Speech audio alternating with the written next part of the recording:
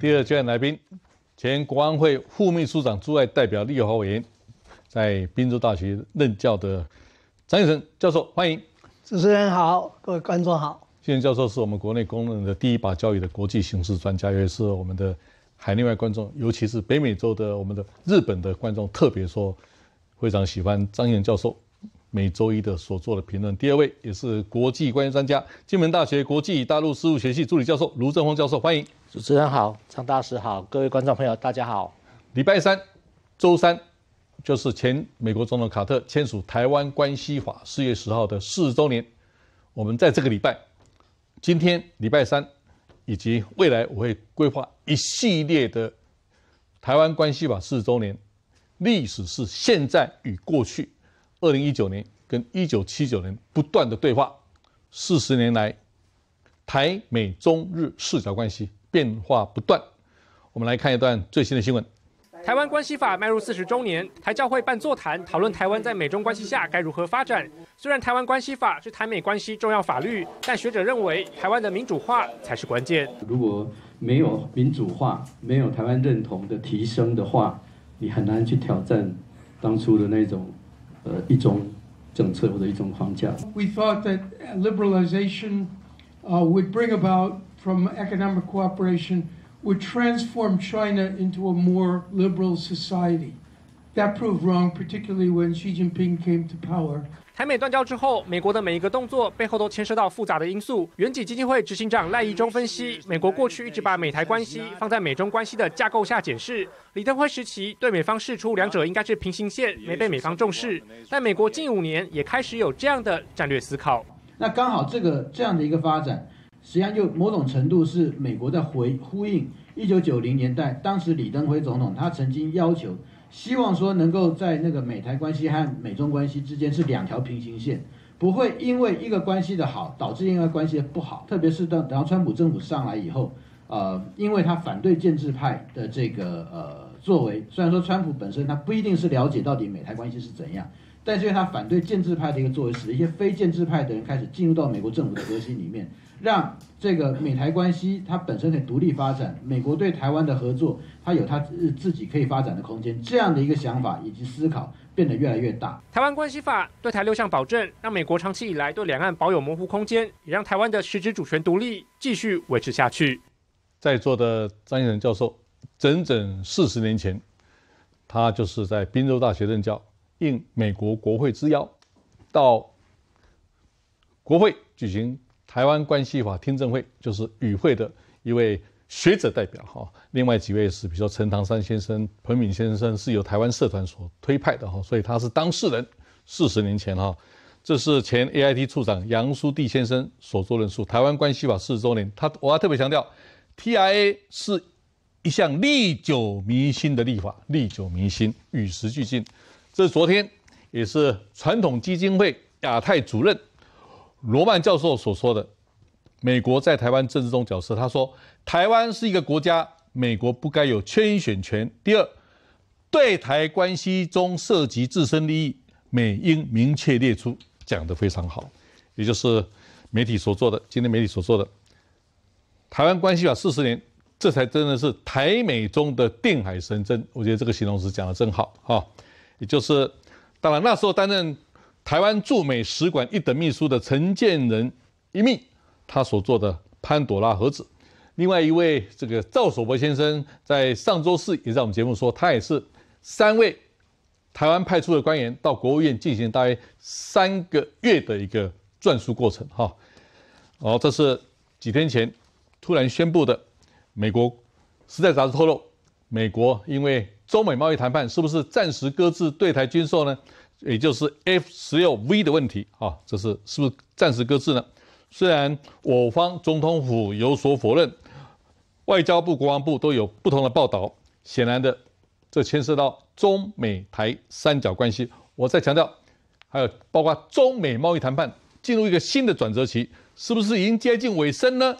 四月底有川习会吗？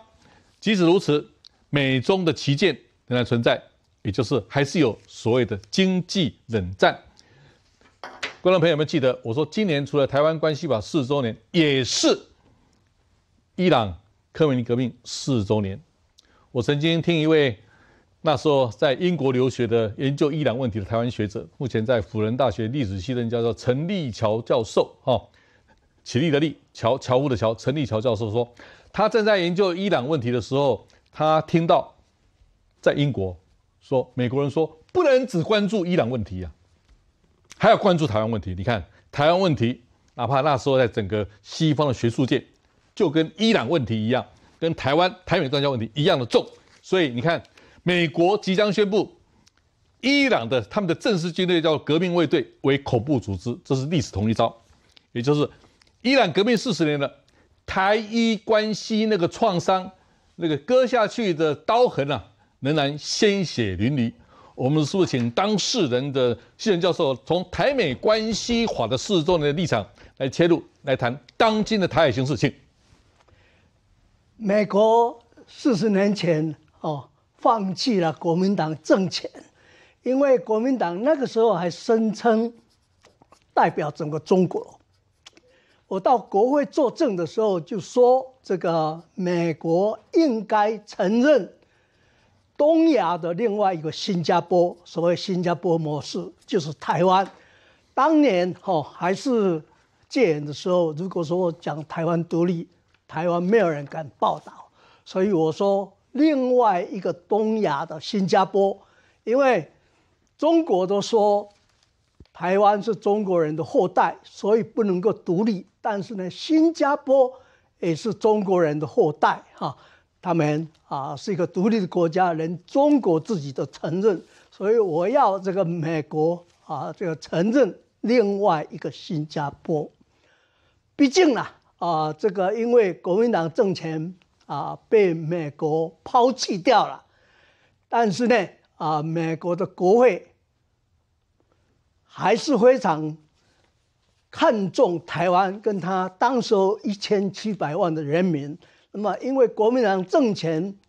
被美国政府啊丢弃之后，台湾才能够民主化，所以这国民党政权在台湾就失去它的正当性。啊，以及啊，它不再是美国支持的一个政权，所以这个重要性啊，说这个啊，塞翁失马焉知非福。如果说从台湾人的观点来看这个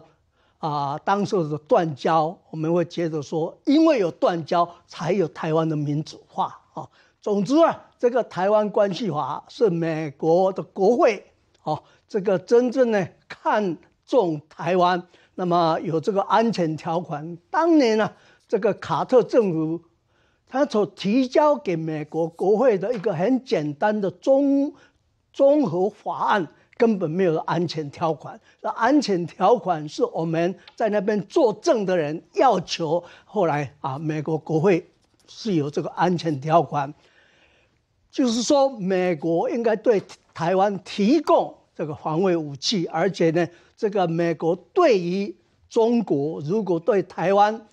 动武，或者说啊，这个采行这个所谓禁运经济制裁的时候，美国应该有所行动。那么我们看到一九九六年，当年这个中共啊打飞弹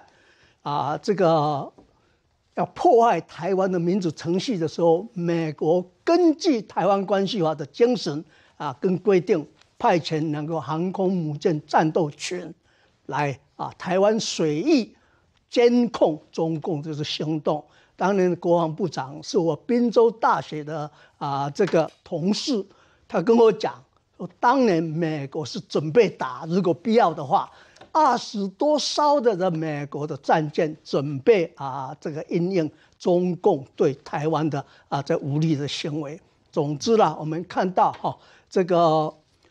台湾关系法的安全条款，对台湾的啊这个安全，对台湾的这个民主化，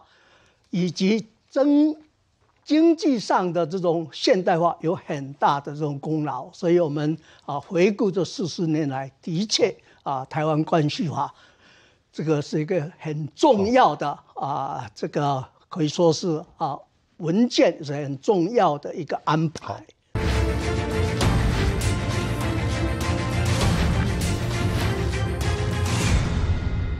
当年的国防部长是我滨州大学的啊这个同事，他跟我讲说，当年美国是准备打，如果必要的话，二十多艘的美国的战舰准备啊这个应应中共对台湾的啊这无力的行为。总之啦，我们看到哈这个。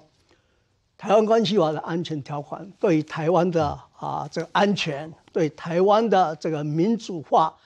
以及经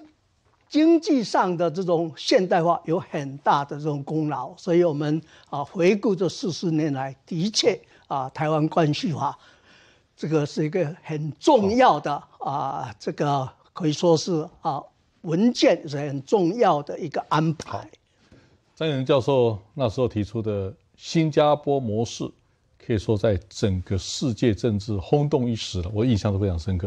因为那时候张教授也在美国的新闻周刊，我记得最后一页都有做评论，可以说是我们也备受尊敬的国际级的一个国际关系学者哈。我向大家预告，本周三四月十号，我会再请张永仁教授跟施正峰教授来谈，因为当天就是台湾关系法四十周年。同时呢，因为美国在台协会在这个礼拜会有一系列，下礼拜也有一系列的纪念活动。我这个节目站在公民立场，也会做一系列的哈。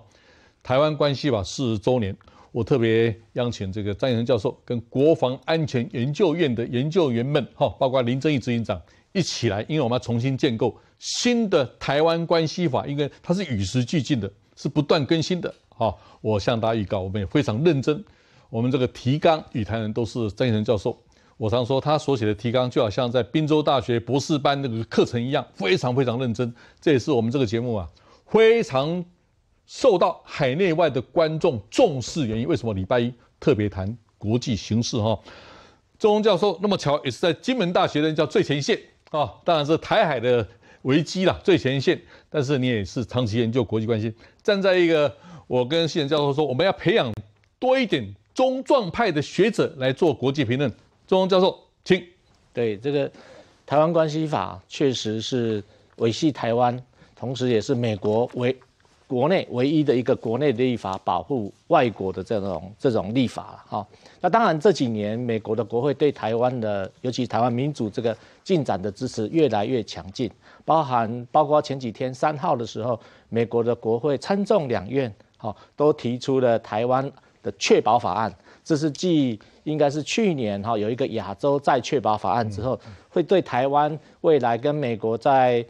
经济、在这种人道援助、在军事、在这种区域安全的维护上，会对台湾甚至对台湾的高层官员跟美国的高层官员到台湾访问，除了有台湾旅行法之外，另外一个支持台湾的一个法案。好，那当然这是我们台湾自己民主的这个。整个发展、整个茁壮的这个过程，这这是国内各大政党哈一起共同经营的一个成果。好，所以这几天你也可以发现，上个礼拜跟这个礼拜，《华盛顿邮报》一个 Joseph Rockin 这个写了连续两篇的这种文章哈，这种文章都特别去把台湾的民主发展跟习近平越来越集中权力、越来走向独裁的这种进行了一个系列的一个比较哈。那当然呢，前几天的川普哈在这个。第九轮的这个中美的这个高层贸易谈判，尤其是中国的副总理刘鹤到白宫来见川普之前，川普在共和党的国会的一个聚会的一个演讲里面特别提到，他二零一七年的十一月到北京去访问的时候，他认为习近平当这个总统哈，当这个国家主席是一辈子都在当，他称说习近平是皇帝啊，那他也认为习近平喜欢当皇帝，那。这个对对照台湾的这个民主的发展，跟大陆哈的这个越来越集权的这种政治的这个发展，是两个很清楚的对照啊。那其实除了台湾关系法今年是四十年之外，六月四号是一九八九年天安门事件是满三十周年哦。那台湾的这个民主的成就跟台湾民主的这个发展，让美国愿意哈在对对。台湾的这个扮演的一个印太战略里面，自由开放愿景里面一个很重要的角色，所以你可以发现，最近的美国在台协会或是国务院华府的这些有台的这些议员也好，或是国务院的官员哈，他们对台湾民主的这个发言越来越清楚，越来越坚定哈。那事实上这几天，除了上个礼拜这个中共的这个歼十一战机飞越台海中线哈，美国的这个国家安全顾问 John Bolton 特别严厉的这种回应呢，就是说其实。这个这个大陆这个是一个挑衅的行为，然后他们会坚定的履行台湾关系法。那当然，刚刚主持人特别提到这个 F 十六的这个战机的这个出售，哈，看起来应该是还在进行当中，哈，并没有因为。这个中美的这个贸易谈判，或是说习近平跟川普四月底要见面，可能会有延宕，因为整个按照这个提程的提出，以及我们的整个申请的这个程序，应该就是还在正常的这个进行当中。另外还有一个比较特别的是，这几天美国的这个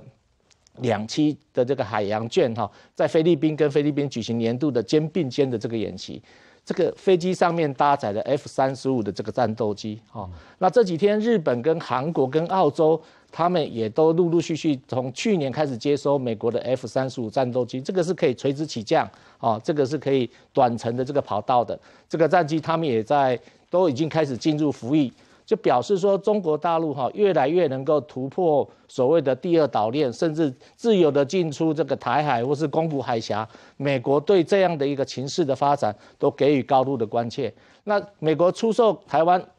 新型的这种战机，其实不仅仅对台湾民主的一种一种支持，同时也是对西太平洋地区、对印太地区的这个民主政治发展的一个强而有力的后盾。好，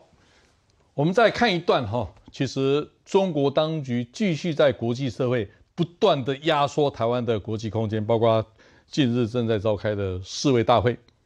不止如此，连民间的国际狮子会都受到打压。由此可见，中方对台湾的打压是无所不用其极。这也正是台湾所面对的挑战。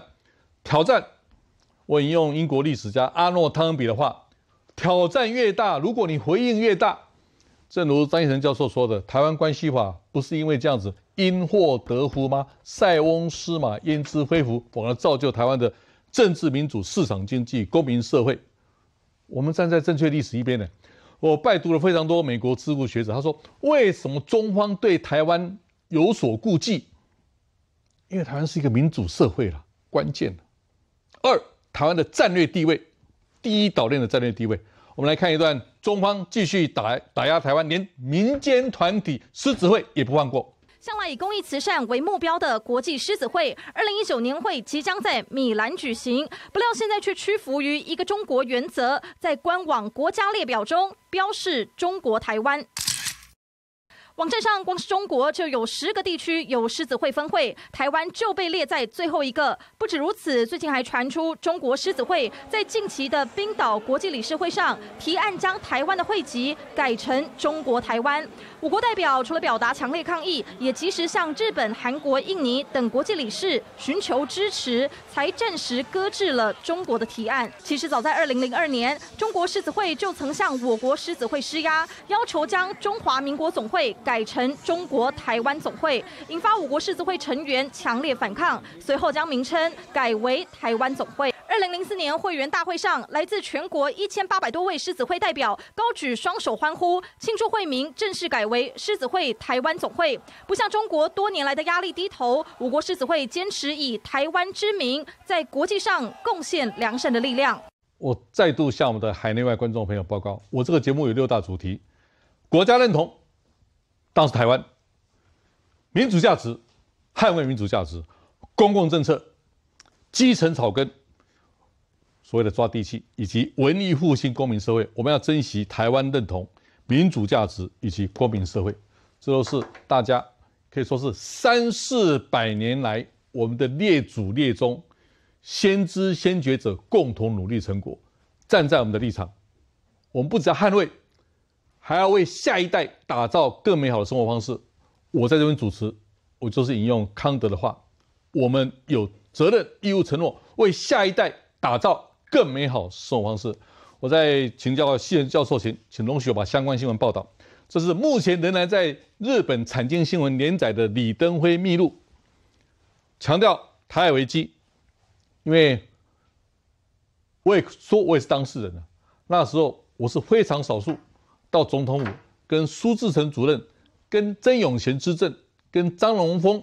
先生哈，他是也是研究员，共同讨论，然后我在报纸的社论，当然是《自由时报》，我七天社论都是我写的，七天哈，然后专栏把那些应该有的国防国安知识，透过这种文字方式让大家知道。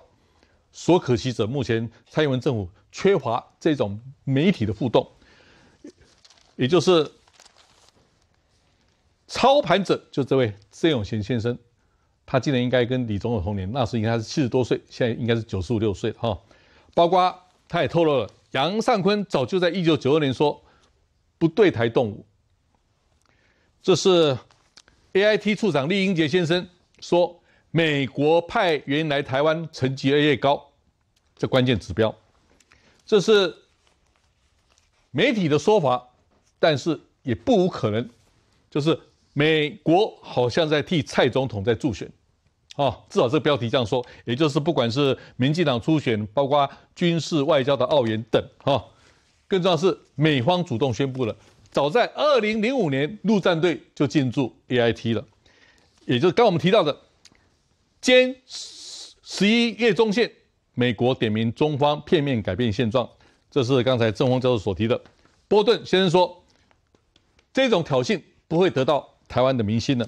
这是国防部官员薛瑞福先生所说的。中方意图透过这种计划性的恐吓，在台海中线以及宫古到巴士海峡的行役，包括美方。我觉得，当川普总统说这个习近平是。国王或皇帝的时候，其实并不是好事情，会让美国人想起一九三三年希特勒成为德国总理，而且他不叫总理了，叫 Hitler，叫领袖。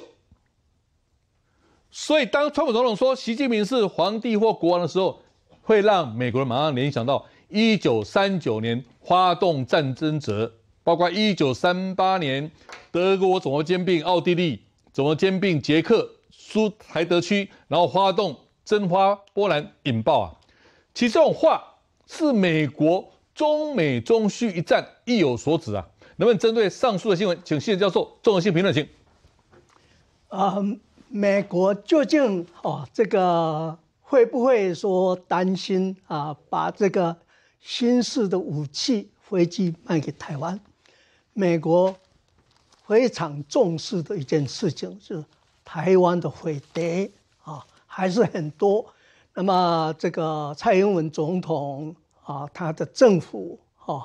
这个国安单位啊，对清除这个飞碟没有做得很好，因此啊，他担心说，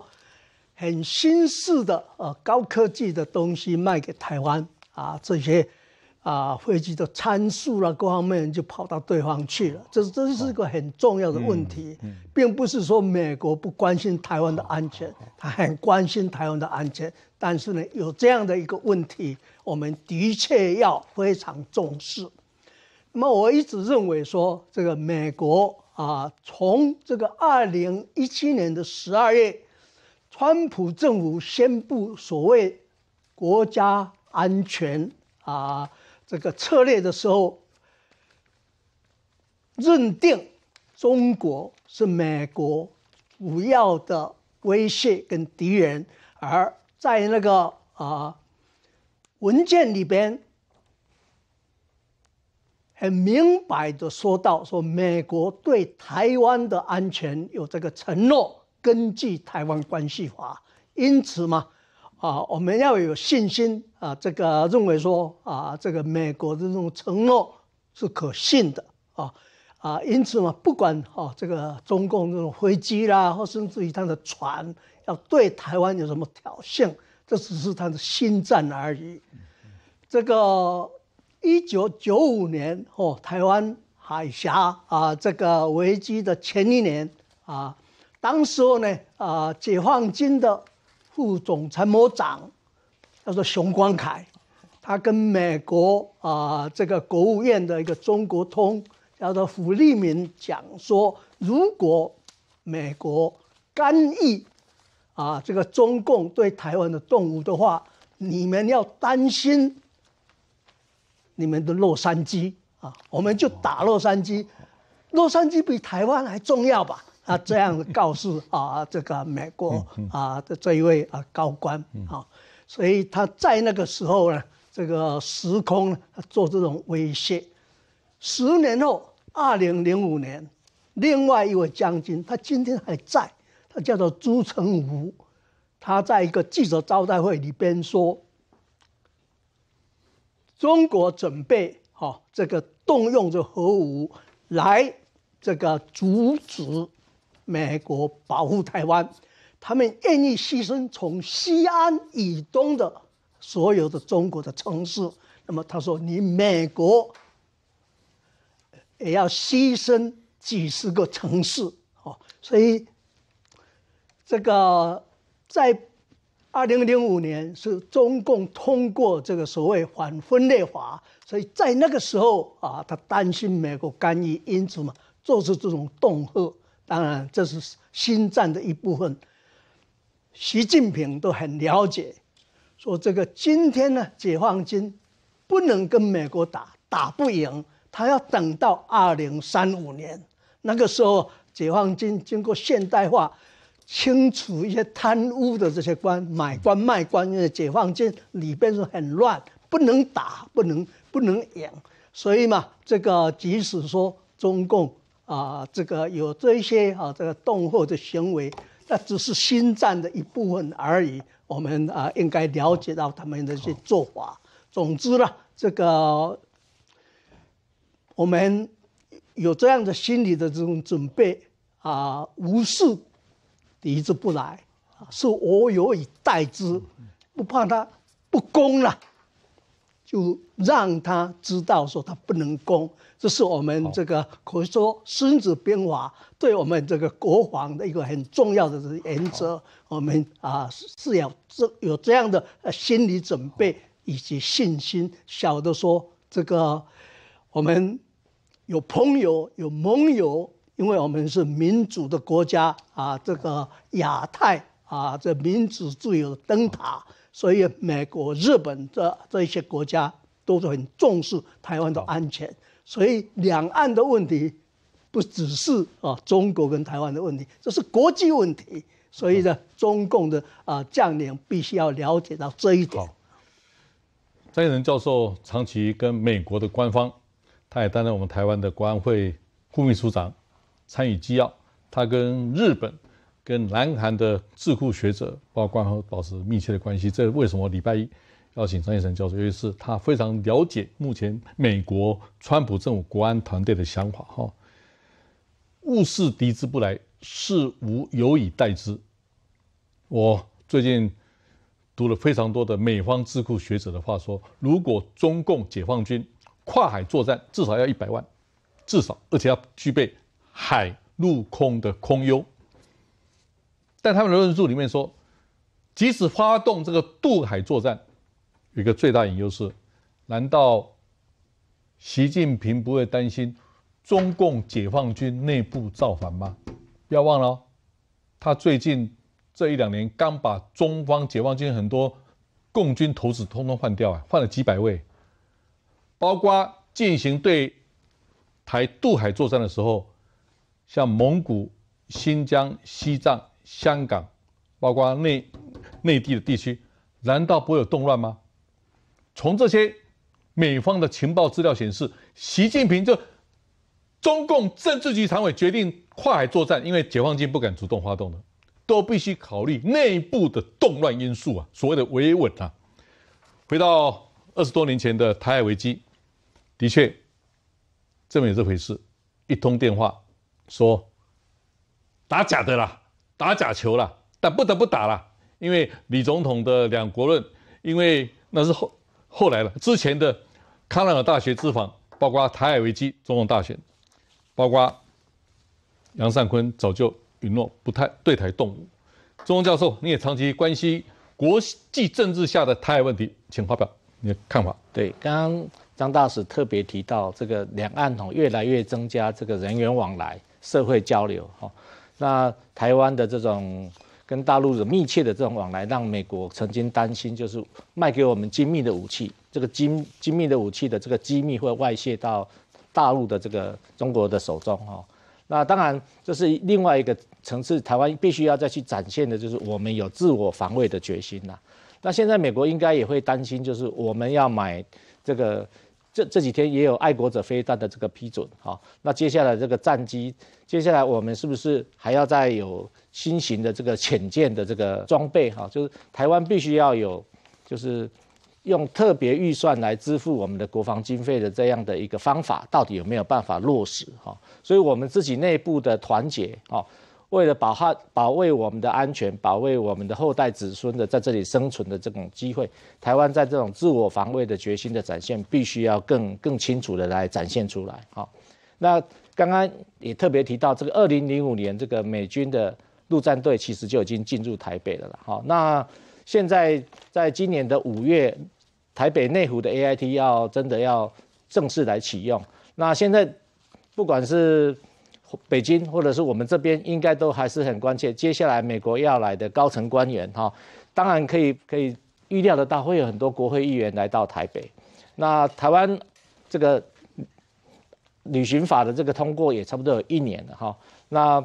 这这几个月，台湾有很多想要参加这这一次台湾总统大选的这些候选人都也都前往美国来进行访问。好，那台湾。在这个接越来越接近这个选举的热潮的这个过程当中，哈，怎么样把台湾自己未来的这种跟大陆的这种交往的这种意图，或是我们的方向，哈，跟国际清楚来说明，不仅仅只是说安全的这种展现，台湾民主继续往前，然后呢，有越来越多的这种假新闻也好，有越来越多大陆对我们的这个，呃，做做青年的工作，做更多的这种交流，然后。渗透我们台湾社会的这些行为，我们自己也要有一个安全的一个防范的机制哈。除了我们政治越来越稳定、越来越透明之外，两岸交流也必须要在往这里来，来更透明。那美台之间哈，随着这个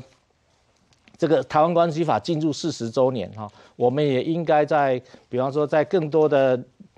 两国的这个人道的这个救援，或是公民社会的这个对话，甚至是自由民主在其他的国家的这种援助的协助上，互相的有更多的合作的项目哈。那当然，台湾的国际参与的这个空间的问题哈，刚刚提到这个狮子会的名称被改，这个过去已经有好多好多这样的例子不断在重复了哈。那当然，大陆这样做永远不会得得到台湾民众的这种支持。那接下来。台湾要参加这个 WHA 的这个这个机会哈，最近媒体国际的媒体在报道，就是有个新型的这种病毒，其实神秘的在传染，哦，传染的这个力道非常的强劲哈，可能感染了短短两三个月就可能会身亡，所以哈，这个包含在卫生的人道的立场上的台湾参与贡献国际社会的这种机会，大陆也不应该把台湾的空间挤压掉。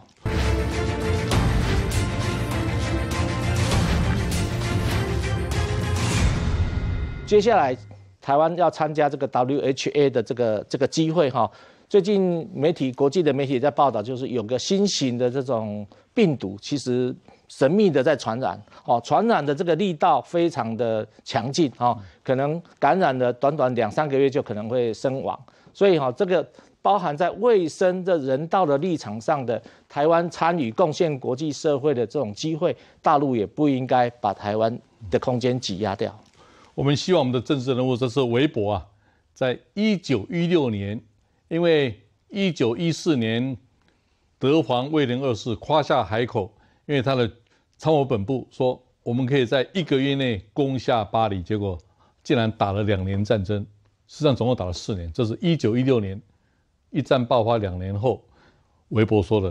其实他说给那个德国军方跟德皇威廉二世听的，请问？热情、判断力、责任感，如今安在？这句话不但送给我们的国内有志参选总统者，也送给习近平先生。你们的风险可是非常大。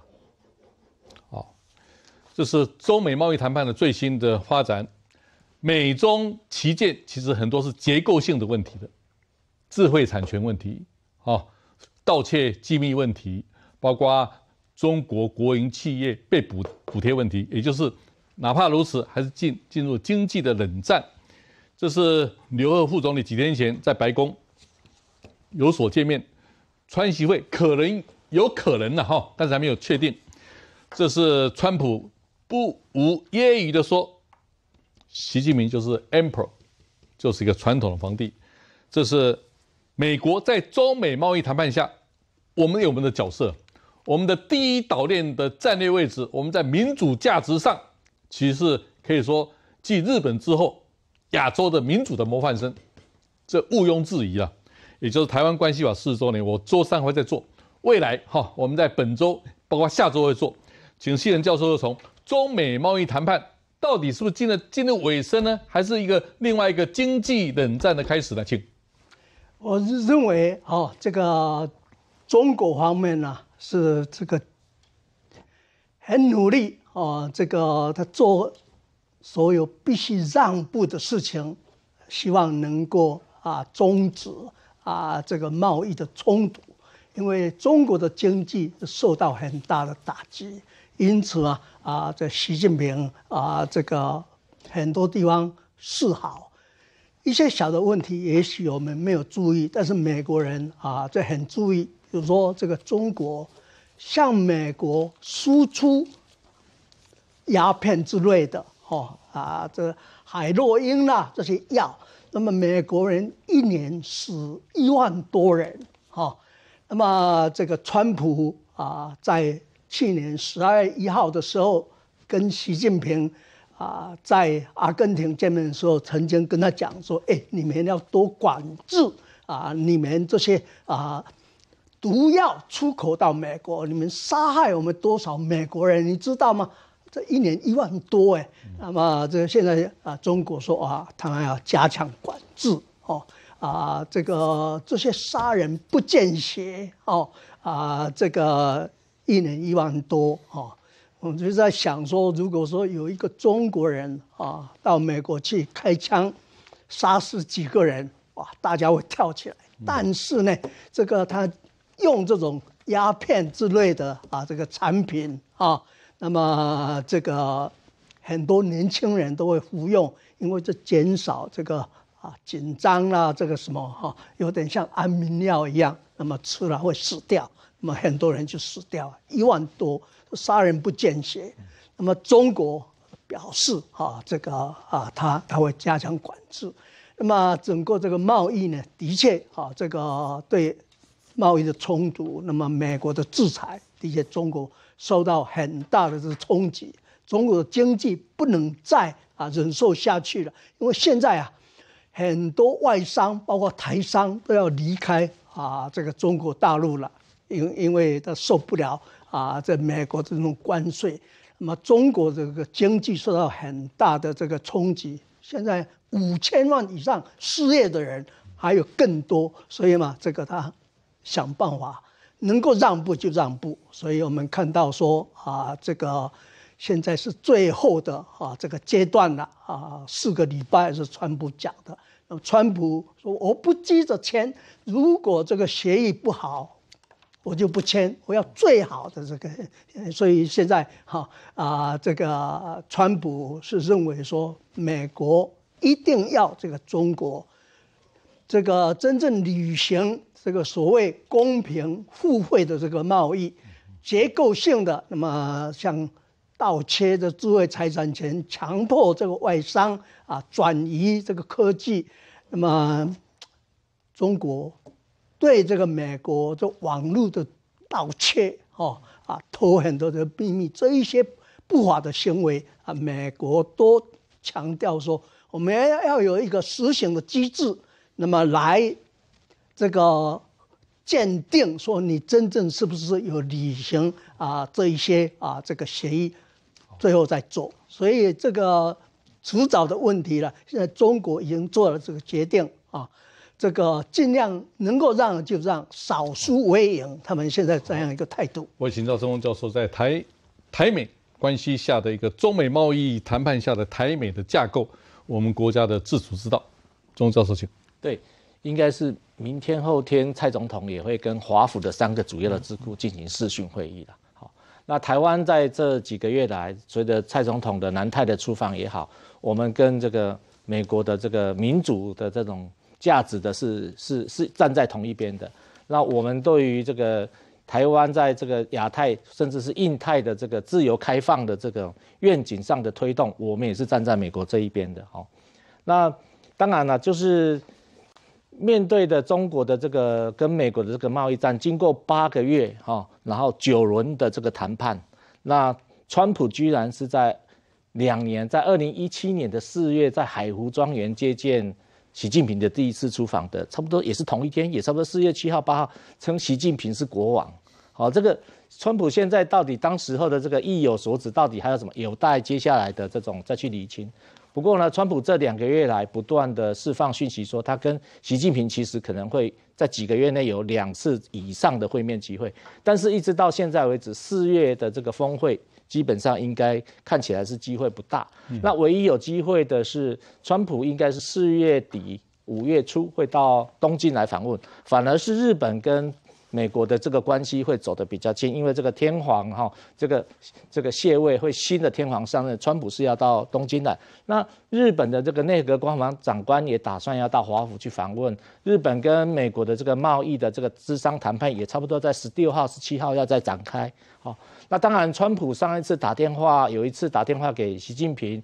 然后说他们要在这个阿根廷会面，是安倍起的一个很大的作用。好，那川普跟金正恩会面完之后，那金正恩也没有再到北京去见习近平，好，那反而这几天也传出来，这个金正恩可能要到俄罗斯去见普丁，好，那其实不是只有中美贸易里面台湾的角色啦，也就是说，其实在这个过程当中，大国之间、亚太的强国之间在互动，好，那台湾我们就是持续的把我们的民主政治，然后我们对外开放这个经济把它做好，我们可以站我们的立场。在台美关系有个非常重要的支柱一。台湾的民主价值以及台湾在亚太第一岛链的战略地位，因为四月三十号明仁天皇退位，是两百年来的首位天皇，因为神是不可能走下神坛的，但是表示他平民化了。然后皇太子德仁五月一号即位，我最要请谢仁教授解析，就是今年是台湾关系法四周年，其实也这是日美安保同盟架构下，包括台湾。在美日安保，其实美菲美韩都有。请问我们在这个状况下，台日关系继续怎么往前迈进？做结论，请。台日关系，哈，这个当然，哦，日本是把台湾的安全看成日本安全的一部分，所以日本非常啊这个重视哦这一点。他跟美国从二零零五年所谓这个 two plus two。二加二的这个会议，在华盛顿开会的时候，日本提出来，美国都很啊这个吃惊，说为什么日本啊这样积极啊来关心台湾的安全？哦，因为这个二加二那个时候是这个奎之米啊小泉的时候啊，讲到这周边有事，台海有事。那么这个美国跟日本怎么合作？所以美国跟日本之间，他们有他们的这个共识，只是我们不一定知道而已。但是我了解到说啊，这个日本特意的将领，他们以前在啊政府里边，包括说他们外务省工作过，他们都认为说美中战争将不可避免，因此嘛，日本。要站在什么地方？如何跟中国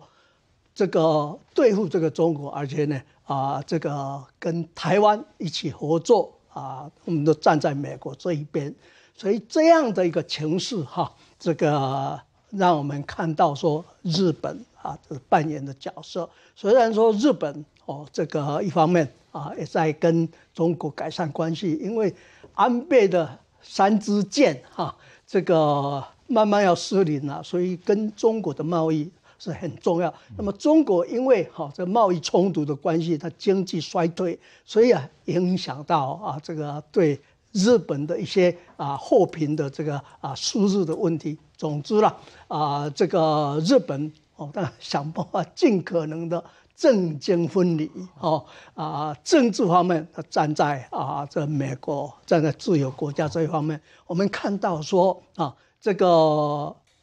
日本的这个准航空母舰，哦，这个现在哦，不只是能够用啊直升机，美国已经把 F 三十五的 B 卖给他，所以啊，这个如虎添翼了哦。所以这个安倍跟川普啊，他们有个共识，就是说这个日本要在整个啊印太这种安全里面扮演更重要这种角色。所以嘛，这个我们看到说这个日本啊。非常啊灵巧的这种外交政经分离，那么这个新的啊这个令和的时代开始，那么这个当然啊安倍是希望说日本走向一个正常国家那样的路上，哈，那么也给台湾一些启示，我们台湾也要一个正常的国家。跟美国有正常的关系，跟日本将来希望有正常的关系，那么就是我们的政府，那么我们的公民团体必须要站出来做这样的主张。周三我会谈台湾关系法四十周年专题，未来一两周我都会继续做。周四会请陈永峰教授来谈令和时代的开始，台湾在印太策略下扮演非常重要的关键角色。有一本书是探讨印度问题的新书，叫做。镀金王国印度，这可以说是目前为止最新的一本探讨印度问题、探讨印太策略。我把这本书作为延伸阅读之用。印度的镀金时代会发展为属于自己的进步年代吗？社会不公和裙带资本主义的危险将被毅然地舍弃吗？亦或是过去十年的残酷统治又会逐渐重现呢？未来的印度社会将是贪腐横行、不公当道，成为另外一个俄罗斯翻版吗？印度是否实质带领亚洲下一个下半叶的野心，以及全世界是否寄望于一个更民主开放的未来呢？都取决于印度是否做出了正确的决定，包括印太策略，印度的角色如何？感谢张教授、卢卢教授非常精辟的解析，佩服，谢谢。